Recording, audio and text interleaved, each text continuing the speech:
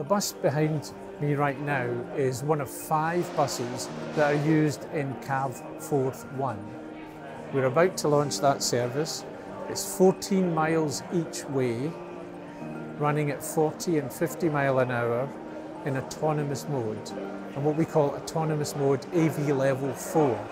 So the system is fully redundant, but we will have a safety driver in place. From that project, we are moving on to CAV Forth 2, which is the project we're talking about today. The same project partners, and the challenge for CAV Forth 2 is we're extending the route into a city centre, so we have to develop the technology for that level of complexity. We're also adding in some innovations around how consumers can interact with the autonomous technology. We're keeping that secret right now, but that's going to be one of the surprises in the project as it develops. We're using these Alexander Dennis 12 metre diesel buses and we will be measuring the fuel economy back to back between manual drive buses and autonomous buses. But we're also introducing a brand new all electric Alexander Dennis bus, which is the Enviro 100 AEV. And all of the learning from the diesel buses will go into that new uh, all electric bus. And we think that bus will then be ready for 2025 introduction on the road. So for us, it's very much R&D. It's learning what, what the technology can do um, and what benefits it can have for, for our passengers and our business. Stagecoach started exploring autonomous technology back in 2018. Um, we got into partnership with Fusion Processing and Alexander Dennis Limited, and we automated a bus that could drive around our depot in Manchester. So it could uh, take itself to get fuel through the bus, bus watch and park itself up for the night.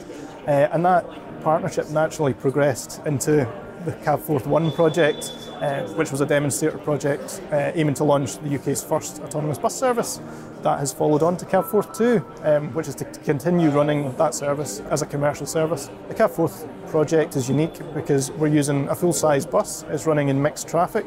Uh, it's going at speeds of up to 50 miles an hour. It's a, it's a real use case. So the passengers that travel on this could be commuters. They could start to rely on the service, um, and it will be registered um, a, a commercial service. So they need to they're going to need to buy tickets if they if they want to come for a wee shot. Where we see autonomous vehicles going is we believe that commercial vehicles offer the first opportunity to commercialise them. We say that because commercial vehicles operate on repeat routes, like buses and trucks, and also the fleet operators are intensely interested in safety, uh, fuel efficiency, and saving cost. And we can bring all that together with our autonomous vehicle technology. What we hope to offer city planners and regional planners is an alternative transport system, let's say alternative to trams, because we know trams are very expensive, you have to tear up the infrastructure, and they navigate by following steel slots in the road, which works perfectly well, but that's Victorian technology. So what we want to do is offer this technology where you don't need to tear up the infrastructure.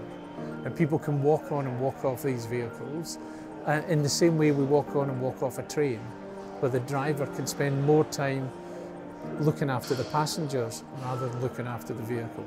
Obviously this is high risk, so we need this level of funding to get us to the point where the market is comfortable to come with us.